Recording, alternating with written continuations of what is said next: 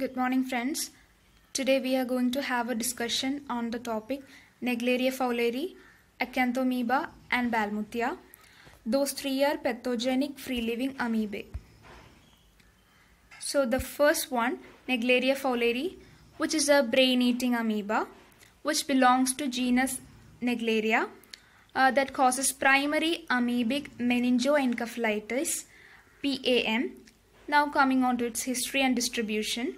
It was named after Malcolm Fowler along with Carter. It is thermophilic, that is, it is a heat loving organism that thrives in warm water at low oxygen tension and it is also seen in soil. In last 10 years from 2002 to 2010, about 32 infections were reported in US and in India a total of 17 cases have been reported. Now coming on to its morphology, there are two morphological forms. The first one is the trophozoite and the second one is the cyst. The trophozoite form is again divided into two, amoeboid trophozoite form and flagellate trophozoite form. So here you can see three pictures of this morphological forms. The first one is the amoeboid form, the second one the flagellate form and the third one cyst form, cyst stage. So the amoeboid form you can see here some of the structures named as lobopodia, nucleus, karyosome, food vacuole, contractile vacuole and all. And on the uh, uh, in the second picture you can see two flagella and in the last one uh, there is a thick smooth double layered cyst wall. So about the amoeboid form. It is a feeding, growing and replicating form having a diameter of about 10 to 20 micrometer. It is having a spherical nucleus, big endosome and pulsating vacuoles. And there is another structure called as amoebostomes.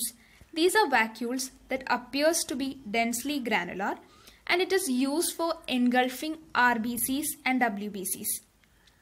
And there is another structure called as lobopodia you can see here. So this one is meant for active motility. The second form is the flagellate form. So you can see the picture it is having two flagellae so it is biflagellate. And this form that is the flagellate form occurs when trophozoites are transferred to distilled water. And this occurs within a minute. And it is also known as amoeboflagellate because this flagellate form can be reverted to amoeboid form. That is it is interchangeable. So uh, hence the name amoeboflagellate and the next one is the cyst stage or the cyst form it is a resistant form that offers protection from desiccation, food deprivation and all. So you can see it is a spherical uh, in structure having a diameter of about 7 to 10 micrometer and it can withstand moderate heat about 45 degrees Celsius. But it dies at chlorine levels of 2 ppm and salinity of 0.7 percentage. And this cyst form is not seen in clinical specimens. And now this is the life cycle so you can see the three forms, right? Cyst, trophozoite and flagellate form. So this enters uh, the human body uh, during swimming, diving and all. So once it enters, it penetrates, this amoeba actually penetrates the nasal mucosa and through olfactory nerve it reaches the brain and it causes PAM or primary amoebic meningoencephalitis. So you can see this uh, cyst, trophozoite and flagellate forms are uh, formed within the external environment and there is no need of any host for the uh, in order to complete its life cycle. So no need of host or no host is required and uh, it is completed in the external environment and the amoeboid form of trophozoite multiplies by binary fission and during unfavorable condition it forms cyst and the flagellate form of trophozoite helps in spread of this N. fowleri to new water bodies. And coming on to pathogenesis, the incubation period is about 2 days to 2 weeks and the man acquires infection by swimming or diving in warm water contaminated with N. fowleri and the amoeba invade nasal mucosa, pass through the olfactory nerve, invade the cribriform plate, enters the meninges and brain and it initiates acute purulent meningitis and encephalitis called PAM. Now coming on to its clinical manifestations, there will be fever which is abrupt in onset and you know it is a brain eating amoeba so there will be frontal headache vomiting stick, uh, stiff neck ataxia seizure and coma. Now lab diagnosis. The specimen uh, used are csf and biopsy brain tissue now coming on to its microscopy in wet mount it detects trophozoites with active directional motility at autopsy, trophozoites can be demonstrated in brain histologically by IF staining. And culture is done on non-nutrient agar plates coated with E. coli and liquid axenic media. And both trophozoites and cysts occurs in, in culture. Uh, in molecular methods, PCR is preferred. Uh, and in case of treatment, the drug of choice is amphotericin B, which is given intravenously, instilled directly into the brain and treatment combining uh, miconazole and sulfadiazine has shown limited success only when administered early. Now coming on to the next organism that is Acanthamoeba. There are four species. Uh, Acanthamoeba culbertsoni, Acanthamoeba castellanii, Acanthamoeba polyphagia, Acanthamoeba astromyx. It causes three uh, kinds of diseases. Uh, the first one is GAE, granulomatous amoebic encephalitis. The second one is infections of lung and skin. The third one, chronic amoebic keratitis. So, uh, first uh, about its morphology. So, uh, here is a picture that shows the two morphological forms, same as that of the Naegleria fowleri. But uh, here, both the trophozoites and the cysts are infectious. So about the trophozoite, it is about uh, 20 to 50 micrometer in size and uh, uh, just like uh, Naegleria fowleri, there is another pseudopodia here and it is called as acanthopodia which is a spine-like pseudopodia and unlike Naegleria fowleri, there is no flagellate stage. And now about the cyst which varies in shape and it is a double wall cyst having an ectocyst and an endocyst. Coming on to the life cycle, you can see uh, as you know both the cysts and the trophozoites are uh, infectious and these can endorse uh, the human body through various ways. It can be either through the eyes or through the uh, nasal passage or through ulcerated or broken skin and all. So the transmission is by inhalation of cysts and trophozoites or by ingestion of the cyst or even through traumatized skin or eyes. Once it enters, it can cause several infections like it can cause keratitis of the eyes, uh, GAE and all. So next is the pathogenesis.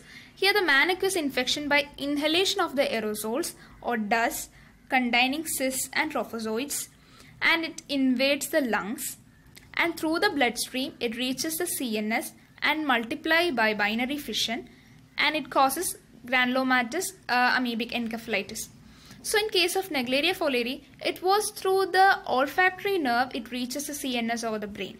But in case of Acanthamoeba, it is through the bloodstream it reaches the CNS and causes GAE. Now coming on to the risk factors. The risk factors includes immunodeficiency, uh, diabetes, malignancies, SLE, alcoholism and it is fatal within days. Now coming on to the clinical manifestation, it can cause keratitis, encephalitis. So this is a picture that shows the acanthamoeba keratitis and uh, look it is actually seen in the healthy individuals, uh, those who use contact lens and it's, it is a severely painful condition and it resembles that of the severe herpetic keratitis uh, and there will be unilateral photophobia, excessive tearing, redness and foreign body sensation and this keratitis and uveitis can lead to permanent visual impairment or blindness. Now GAE or granulomatous amoebic encephalitis. This is actually seen in immunocompromised patients. But the keratitis, you know, it is uh, seen in healthy individuals, but GA is uh, commonly seen in immunocompromised patients.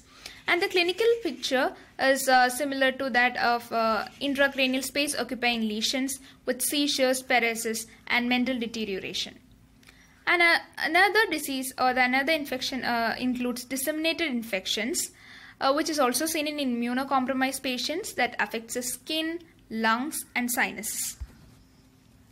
Now coming on to its lab diagnosis, the specimens uh, used includes corneal scraping as it causes keratitis and CSF uh, because it causes GAE and brain biopsy in GAE.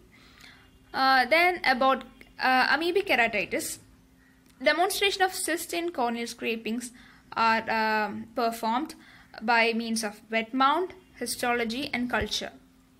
And now uh, growth is also detected in nutrient agar overlaid with live or dead E. coli and incubated at 30 degrees Celsius.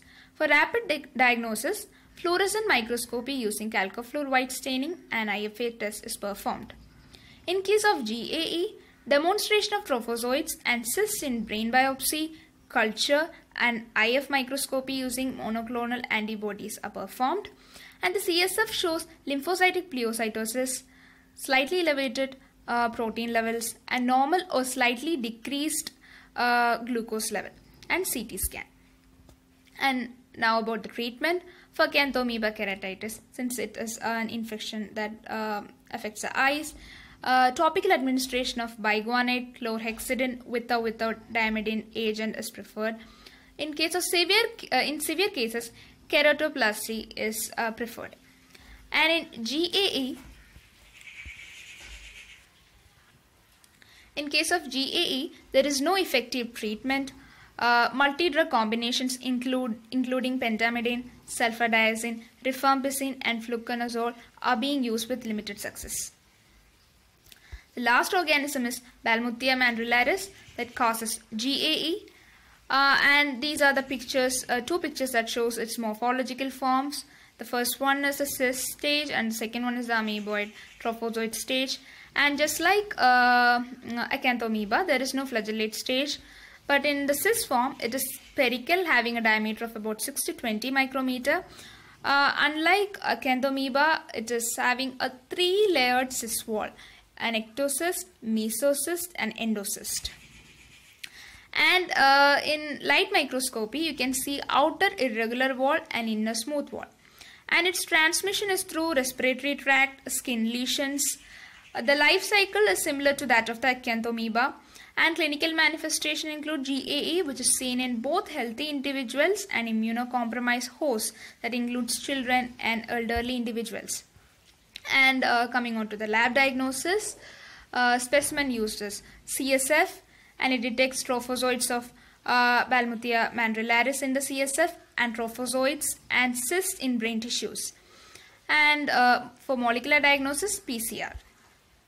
So uh, by this, we come to an end of this discussion on the topics uh, Naegleria fowleri, Acanthamoeba and Ballmuthia. Thank you.